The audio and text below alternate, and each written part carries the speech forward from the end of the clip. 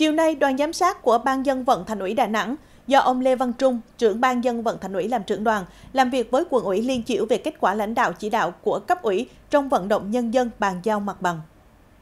Theo báo cáo với sự chỉ đạo giám sát của quận ủy, ủy ban nhân dân quận, nên công tác giải phóng mặt bằng trên địa bàn quận trong thời gian qua đã có nhiều chuyển biến rõ nét, tích cực. Công tác phối hợp giữa các phòng ban, đoàn thể từ quận đến địa phương được nâng cao, công tác vận động, giải thích các hộ dân trong diện giải tỏa được thực hiện thường xuyên tích cực. Theo đó, kết quả là dự án tuyến đường cấp bách chiến lược đạt 135 trên 341 hồ sơ, dự án trạm xử lý nước thải Liên Chiểu đạt 204 trên 214 hồ sơ. Song, còn các vướng mắc như là do các trường hợp không đủ điều kiện bố trí đất tái định cư, các thửa đất chưa xác định chủ hộ, các thửa đất chưa được kiểm kê và lập hồ sơ pháp lý.